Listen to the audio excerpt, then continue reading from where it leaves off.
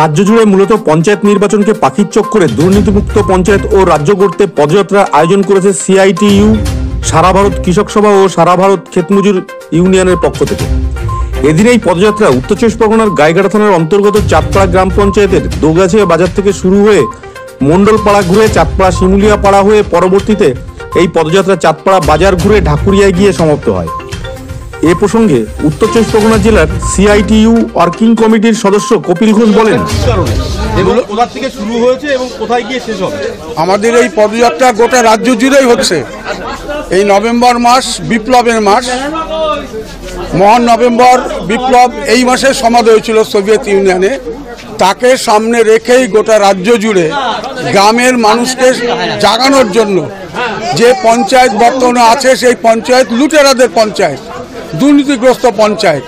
সেই পঞ্চায়েতের বিরুদ্ধে জনগণের পঞ্চায়েত গড়ে তোলো। সেই স্লোগানকে সামনে রেখেই গোটা রাজ্য জুড়ে যে কর্মসূচি সিপিআইএম নিয়েছে, তার অংশ হিসাবেই চাঁদপাড়া অঞ্চলে আমাদের আজকের এই পদযাত্রা। পদযাত্রা শুরু হয়েছে চাঁদপাড়া অঞ্চলের দোগাছিয়া বাজার থেকে। দোগাছিয়া বাজার হয়ে হরিণখোলা পাড়া হয়ে দোগাছিয়া গ্রাম ঘুরে গোটা মণ্ডলপাড়া গ্রাম ঘুরে দেবীপুর হয়ে শিমুলিয়া পাড়ার সানাপাড়া হয়ে শিমুলিয়া পাড়াতে এসে এখানে শেষ হয়েছে চিত্ত বিশ্বাসের বাড়িতে। এখানে দুপুরের খাওয়ার পরে এই মিছিল আবার শুরু হবে, চাঁদপা বাজার ঘুরে ঢাকুরিয়াতে শেষ হবে। ফলে এই মিছিল হচ্ছে জনগণের চেতনা বিকাশের মিছিল।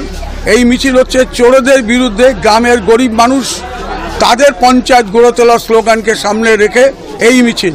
এই মিছিলের মূল লক্ষ্য, রাজ্যে যে ধরনের অবিচার, অন্যায় হচ্ছে, দুর্নীতি হচ্ছে তার বিরুদ্ধে প্রতিবাদের মিছিল।